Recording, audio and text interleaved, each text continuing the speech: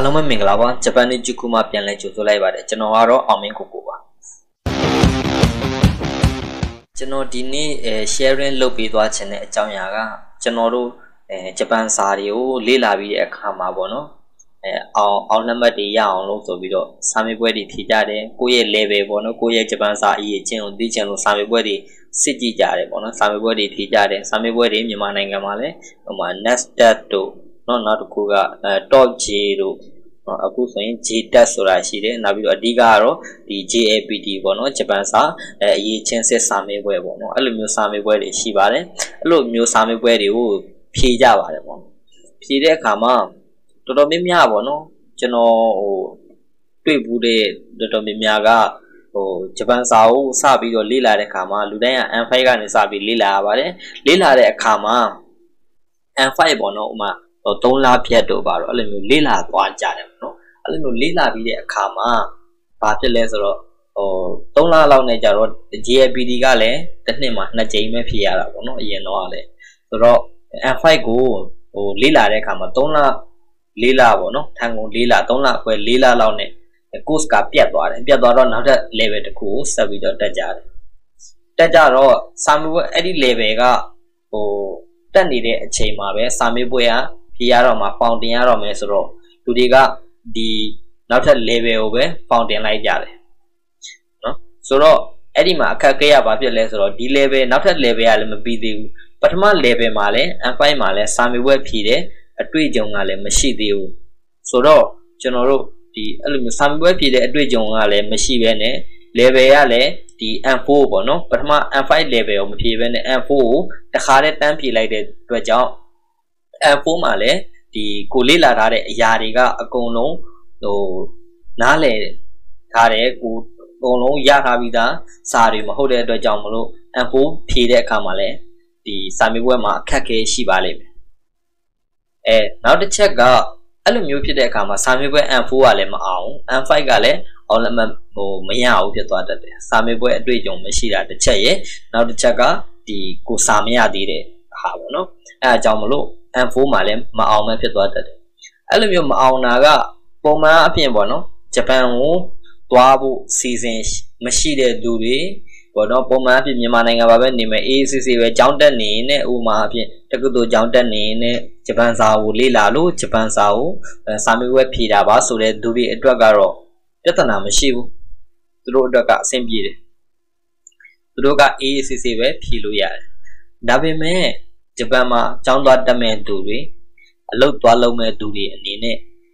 စာမေးပွဲကိုဒီ GAPT ပဲဖြစ်ဖြစ် NET test ပဲဖြစ်ဖြစ်အဲ့လိုမျိုးဟိုရေးချင်းစစ်စာမေးပွဲတစ်ခုခုကနေပြီးတော့အောင်လက်မှတ်လိုအပ်ပါတယ်အဲ့ဒီအောင်လက်မှတ်ကိုဟိုမရကြတော့ဘူးပေါ့အဲ့လိုမျိုးသေချာမဖြေတဲ့အခါကျတော့ဆိုတော့ဟိုတချို့ကြတော့လဲဟိုကိုကဘယ် level ထိလေးလာပြီးွားရင်မလို့တန်းဖြေမယ်ဆိုတာမျိုးတွေအဲ့လိုမျိုးလည်းရှိပါတယ် တကယ်ဟိုဟို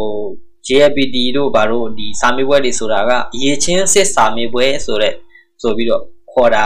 အလကားခေါ်တာမဟုတ်ပါဘူးအရေးချင်းကိုသိချင်လို့စစ်တာပါဒီဘက်မှာကိုက M5 level လေးလာပြီးသွားပြီဆိုရင် M5 နဲ့ပတ်သက်ပြီးတော့ကိုက M5 မှာပါဝင်တဲ့စကလုံးတွေနော်ကိုတိုးပါပေါ့နော်စကလုံးတွေအဲဒီတရားတွေဘွန်ပိုတွေအဲနောက်ပြီးတော့ဒီ dot kind ပေါ့နော် reading တွေ အဲနောက်ပြီးတော့ listening တွေဘယ်လောက်ထိအောင်ကိုကပိုင်ပိုင်နိုင်နိုင်အဲကျွမ်းကျင်ပြီလဲဆိုတာကိုသိဖို့အတွက်ကိုဒီအဲ N5 level စာမေးပွဲကိုဖြေရတာဖြစ်ပါတယ်အဲ့ဒီအခါမှာအဲ့ဒီလိုမျိုးဖြေရတဲ့ဟာကိုမဖြေဘဲနဲ့နောက်ထပ် level တစ်ခုကိုထပ်ဖြေတယ်ထပ်ဖြေတဲ့အခါကျတော့နောက်ထပ် level မှာပါတဲ့ဟာတွေ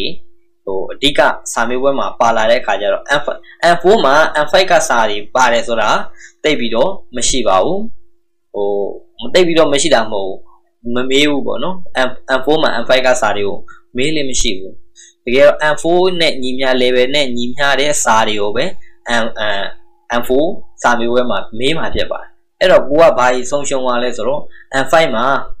ကိုတိထားတဲ့ဟာတွေကဘယ်ဟာတွေကတကယ်တိထားလဲဘယ်ဟာတွေက ဟိုကိုစာကြိုက်နေကြံသွားလဲဆိုတဲ့ဟာမျိုးတွေကြတော့ကိုယ့်အတွက်နစ်နာတယ်အဲ့လိုဟာမျိုးတွေရှိတယ်ဆိုတော့အကောင်းဆုံးကတော့အကြံပေးချင်တာကဂျပန်စာကိုစပြီးလေ့လာရင် level တစ်ခုချင်းစီကို M5 ကိုတေချာပေါက်ဖြည့်သင့်ပါတယ်။ဘာလို့လဲဆိုတော့ M5 ရဲ့ M4 ရဲ့နှစ်ခုကိုတော့တေချာပေါက်ဖြည့်သင့်ပါတယ်။ဘာကြောင့်လဲဆိုတော့သူတို့ကဒီဂျပန်စာကိုစလေ့လာတဲ့အဓိက foundation ဖြစ်နေတဲ့အတွက်ကြောင့်ဖြစ်ပါတယ်။အဲ ဂျပန်စာကိုစလေ့လာတဲ့အဓိက foundation ဆိုတဲ့နေရာမှာဒီ foundation ရသွားပြီဆိုရင် M5 M4 ပြီးသွားပြီဆိုရင် M3 M2 M1 ကိုနော်စာပုံမှန်လေးလောက်သွားမယ်ဆိုရင်ကောင်းကောင်းသွားပြီးတော့ဒီဆက်ပြီးတော့လေ့လာလို့ရပါတယ်ဆိုတော့ကျွန်တော်တို့ဒီကျွန်တော်ကိုယ်တိုင်လည်းပဲဒီဂျပန်စာကိုစပြီးတော့လေ့လာတဲ့အခါမှာကျွန်တော်တို့ဂျပန်စာစလေ့လာတဲ့အချိန်တုန်းကအဲဂျပန်ဂျပန်စာဆိုတာကိုလူတော်မသိကြသေးတဲ့အချိန်ဖြစ်ခဲ့ပါတယ် ဆိုတော့တုံတောင်ကဂျပန်စာဆိုတဲ့ဟာကိုလည်းဟိုနဲ့မဖြစ်ဘူးအင်္ဂလိပ်စာလောက်ပဲလူတွေကအဲ speaking သင်တန်းတက်တယ်အဲအဲ့လိုမျိုး grammar ပေါ့နော်အဲ့လိုမျိုးသင်တန်းတွေတက်တယ်အဲ့လိုမျိုးတွေတော့ရှိတယ်ဒါပေမဲ့ဂျပန်စာကိုလေ့လာစရာတစ်ခုဆိုပြီးတော့လူတိုင်းကမတတ်မှတ်ကြအောင်အဲ့လိုအခြေအနေမှာဖြစ်တဲ့အတွက်ကြောင့်ကျွန်တော်တို့ဒီဟာနဲ့ပတ်သက်ပြီးတော့ knowledge တွေအခုလိုကျွန်တော်တို့ဟိုလိုမျိုးအဲ YouTube မှာ sharing လုပ်တာတွေ Facebook မှာ sharing လုပ်တာတွေအဲအဲ့လိုမျိုးဟိုခက်ကလည်းမဟုတ်တော့ ဒီဟာတွေကိုကျွန်တော်တို့မသိခဲ့ဘူးပေါ့နော်အတွေးမသိခဲ့တော့ကျွန်တော်ကိုယ်တိုင်လည်းပဲဒီ M5 ကိုစာမေးပွဲဖြည့်ပြီးတဲ့အခါမှာ M5 စာမေးပွဲဖြည့်ပြီးတော့ M4 ကိုမဖြည့်ဘဲနဲ့ M3 ကိုတန်းပြီးတော့ဖြည့်ခဲ့မိတယ်အောင်နာတော့အောင်သွားပါတယ်ဒါပေမဲ့ခုနပြောသလို M4 မှာဘာတွေမေးလဲဆိုတော့ကျွန်တော်မသိခဲ့ရအောင်ဆိုတော့အဲ့လိုမျိုးပေါ့ဟိုဂျပန်စာကိုဟိုလေ့လာတယ်လေ့လာတဲ့အခါမှာကိုလေ့လာပြီးသမျှကိုတစ်ခုချင်းစီကို ဖြည့်စေခြင်းပါတယ်အခုဆိုရင်ဒီဟို COVID-19 ကြောင့်မလို့ကျွန်တော်တို့ဒီဂျပန်စာစာမေးပွဲပေါ့နော် JLPT စာမေးပွဲက12လပိုင်းမှာကျင်းပခွင့်မရှိတော့ဘူးမကျင်းပတော့ဘူးဆိုတဲ့အတွက်ကြောင့်12လပိုင်းမှာဖြေဖို့တင်ထားတဲ့လူတွေ12လပိုင်းမှာစာမေးပွဲဖြေပြီးတော့အောင်လက်မှတ်ရရင်နောက်နှစ်မှာဂျပန်သွားမယ်ဆိုတဲ့လူတွေအတွက်အများကြီးနစ်နာသွားပါတယ်ဆိုတော့စိတ်မကောင်းစရာပါပဲအဲ့လိုအဲ့လူတွေကစာမေးပွဲဖြေပြီးတော့မှဂျပန်ကို သွားရမယ်ဆိုတဲ့ပုံစံမျိုးဖြစ်သွားပါတယ်ဆိုတော့ဟိုစာမေးပွဲဒီချိန်မှာပေါ့ဟိုစာမေးပွဲအောင်လက်မှတ်ရှိထားတဲ့သူကတော့ဟိုစင်ဘောอ่ะပေါ့နော်အဲ့လိုမျိုးဖြစ်နေပါတယ်ဆိုတော့အဲဂျပန်စာကိုလေ့လာတဲ့ဟိုညီကိုမောင်နှမတွေကဟိုအကယ်ကိုကအဲစာမေးပွဲကိုဖြစ်နိုင်တယ်ဆိုရင်အကူကနေစပြီးတော့ပေါ့နော်နောက်နှစ်တင်မှာလည်းအဲ့လိုမျိုးဟိုနေမဖြစ်အောင်ကိုကတေချာတဲ့အောင်လက်မှတ်တစ်ခုကိုချင်းစီကိုရတာအောင် level ကျော်ပြီးဖြေတာတို့ မမလုပ်မိအောင်လို့ပေါ့နော်အဲဒီကအဲတတိထားပြီးတော့စာမေးပွဲဖြည့်စေချင်ပါတယ်စာမေးပွဲဖြည့်တဲ့အခါမှာလည်းပဲကိုကဟိုဒီစာမေးပွဲကိုဟိုအောင်လမရမရလို့မဟုတ်ဘူးပေါ့နော်ကိုယ့်ရဲ့အရေးချင်းကိုတကယ်သိကျင်တဲ့အတွက်ကြောင့်မလို့အဲစာမေးပွဲဖြည့်တယ်ဆိုတဲ့စိတ်မျိုးထားပြီးတော့စာမေးပွဲကိုဖြည့်ပေးပါအဲ့ဒါဆိုလို့ရှိရင်တော့ကိုယ့်ရဲ့အရေးချင်းတကယ်အမှန်ကိုသိတဲ့အခါမှာကိုကဒီဂျပန်စာအောင်လမကတော့ လိုတာတော့လိုပါတယ်ဒါပေမဲ့အဲကိုယ့်ရဲ့အရေးချင်းအမှန်သိဖို့ကနံပါတ်1အရေးကြီးဆုံးပါပဲနောက်တစ်ခုကအောင်လမမရှိလို့ဆိုရင်ရောမရဘူးလားဆိုတော့ဂျပန်သွားမှုဆိုရင်တော့မရပါဘူးအဲဒါပေမဲ့မြန်မာနိုင်ငံမှာပဲအလုပ်လုပ်မယ်ဆိုရင်တော့အောင်လမမရှိလဲရကောင်းရကောင်းရနိုင်ပါလေရကောင်းရနိုင်ပါလိမ့်မယ်လို့ပြောတာပါရတယ်လို့မပြောပါဘူးအဲတချို့ကုမ္ပဏီတွေကြတော့ဟို အောင်လက်မှတ်ဆိုတာအဓိကတောင်းတယ်ပေါ့နော်ဒါပေမဲ့တချို့ကုမ္ပဏီတွေမှာကြတော့ကိုယ့်ရဲ့ဒီဂျပန်စာနဲ့ပတ်သက်တဲ့စွမ်းရည်ကိုအင်တာဗျူးတဲ့အခါမှာကြည့်ပြီးတော့နော်ဘယ်ဥမာအဲစကားဘယ်လောက်ပြောနိုင်လဲစာဘယ်လောက်ဖတ်နိုင်လဲနားထောင်နိုင်စွမ်းဘယ်လောက်ရှိလဲဆိုတဲ့ဟာမျိုးရဲ့နောက်တစ်ခုကဒီဘောနော်ဟို communicate လုပ်တဲ့အခါမှာဘယ်လိုမျိုးဟိုနားလည်နိုင်စွမ်း မြင့်လဲဆိုတဲ့ဟာမျိုးကိုကြည့်ပြီးတော့သူတို့ကအဲကုမ္ပဏီတွေကဒီဆုံးဖြတ်ပြီးတော့ရွေးကြတာဖြစ်ပါတယ်မြန်မာနိုင်ငံကဂျပန်ကုမ္ပဏီတွေပေါ့နော်ဆိုရင်ဒါပေမဲ့အဲ့လိုမျိုးဟိုအောင်လမတ်မရှိလို့ဆိုပြီးတော့ဟိုမရှိပဲနဲ့ကိုကကျွမ်းတယ်ကျွမ်းကျင်တယ်အရန်ကျွမ်းကျင်ပါတယ်ကိုကဂျပန်စာနဲ့ပတ်သက်ပြီးတော့ဟိုတတိစီစာလေးလာထားပါတယ်ဆိုပြီးတော့ပုဂ္ဂိုလ်ယုံကြည်ချက်ရှိတယ်ဆိုရင်တော့မှဂျပန်ကုမ္ပဏီတွေမှာအဲ အင်တာဗျူးတဲ့အခါမှာပေါ့နော်ပထမအချက်က screening ပေါ့နော် document screening လုပ်လုပ်ချလိုက်ပါမယ် interview တဲ့ဒီတွေ့ကြုံရပြောမယ်ဆိုရင် interview ကိုအတွက်ကို CVD လာလျှောက်တဲ့လူတွေအများကြီးရှိပါဗျာအဲ့လိုမျိုး CV တွေလာရှောင်းမဲ့လူတွေအများကြီးတည်းကမှဒီ interview ဟို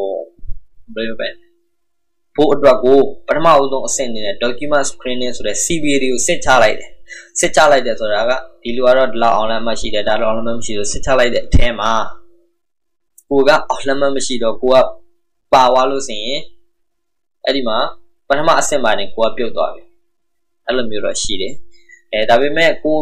ဟိုအကုန်လုံး view မယ်ဆိုပြီးတော့အဲ့လိုမျိုးအကုန်လုံး view လိုက်မယ်ဆိုတဲ့ဟာမျိုးကြရင်တော့ကိုယ့်ရဲ့အရေးချင်းကိုပြသခွင့်ရနိုင်ပါလိမ့်မယ်ဒါပေမဲ့တော်တော်များများ document screening မှာပဲ